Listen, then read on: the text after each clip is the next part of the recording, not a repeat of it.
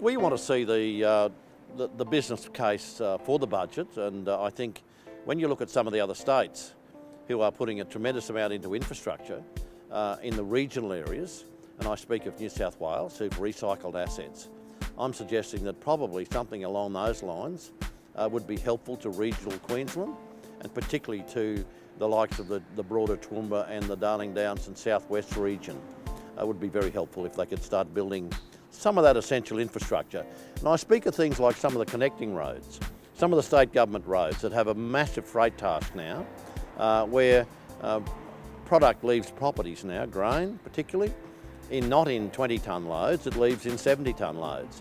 We need roads that have the capacity to take that product directly to the port. Water security is a massive one here. Road connectivity, uh, you know, and the general support that there is for flood mitigation that we've had. We've seen a lot of work done with flood mitigation. Terribly thankful to the state and federal government for their support.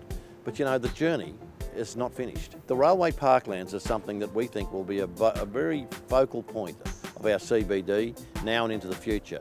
As people begin to use different sort of housing, you know, and there'll be people living in the CBD and working in the CBD, uh, I think the railway parklands will become more important and we certainly are enjoying the partnership that we've had with the state government and we look forward to there being more money flowing our way from the state government to help us on that journey.